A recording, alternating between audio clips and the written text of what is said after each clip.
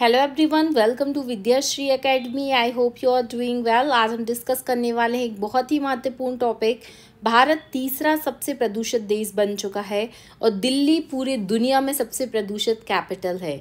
तो ये बहुत ही सुनने में भी ऐसा लगता है कि यार, भारत जैसा देश जो इतनी प्रगति कर रहा है, हम चाहे वो थर्ड बिगेस्ट इकोनॉमी की बात कर रहे हों या फिर अनेकों पायदानों पर भारत का जो नाम है, वो काफ़ी अच्छा है। और अगर प्रदूषण की दृष्टि से हम इतना अच्छा रैंक ला रहे हैं तो क्या ये भारत की बढ़ती हुई प्रगति के लिए एक बड़ा प्रश्न चिन्ह नहीं बनता? बनता है। डिस्कस करते हैं I Q R air report आई है, जिसमें दिल्ली को दुनिया की सबसे प्रदूषित राजधानी बताया गया है। और भारत जो है वो पहले नंबर पर, तीसरे नंबर पर सबसे प्रदूषित देश बन चुका है। 96 परसेंट आबादी ऐसी है जो दूषित सांस ले रही है।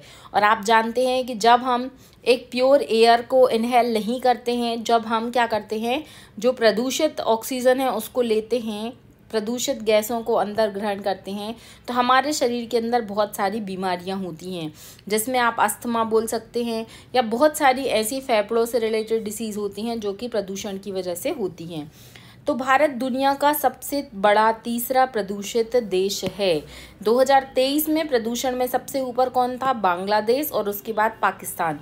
यह दावा स्विस एयर क्वालिटी मॉनिटरिंग संस्था है, जिसे हम आई एयर के नाम से भी जानते हैं। जिसमें दुनिया की सबसे प्रदूषित शहरों की राजधानियों की सूची भी जारी हुई है, जिसमें दिल्ली ने सबसे पहला रैंक हासिल किया है।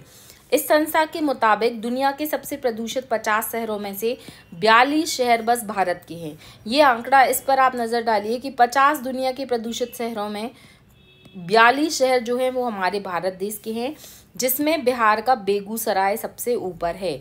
अगर आप प्रदूषण का निबंध लिखते हैं या भारत में बढ़ता हुआ प्रदूषण या किसी भी प्रकार का इस तरीके की कोई आंसर राइटिंग करते हैं तो ये डेटा आप वहाँ पर लिख सकते हैं। वहाँ पिछले साल प्रदूषण के लिए जिम्मेदार सूक्ष्म कण पीएम जो होता है पीएम का फुल फॉर्म यहाँ पर पीएम का फुल फॉर्म प्राइम मिनिस्टर नहीं है, यहाँ पर जो पीएम का फुल फॉर्म है वो पर्टिकुलेट मैटर है। तो पीएम कितना था? टू पॉइंट फाइव था। टू पॉइंट फाइव का औसत एक सौ अठारह दशमलव नौ था, जो कि डब्ल्यू एच ओ के स्टैंडर्ड के अकॉर्डिंग तेईस गुना ज़्यादा था। तो आप देख सकते हैं कि भारत के 130 करोड़ से ज़्यादा लोग, यानी 96 परसेंट आबादी खराब एयर क्वालिटी वाले शहर में रह रही है और रिपेट, रिपोर्ट में विशेष रूप से पीएम 2.5 पर फोकस किया गया है। अठहत्तर सौ से ज़्यादा शहर में सिर्फ़ 9 प्रतिशत शहरी मानक खबर में आए हुए हैं।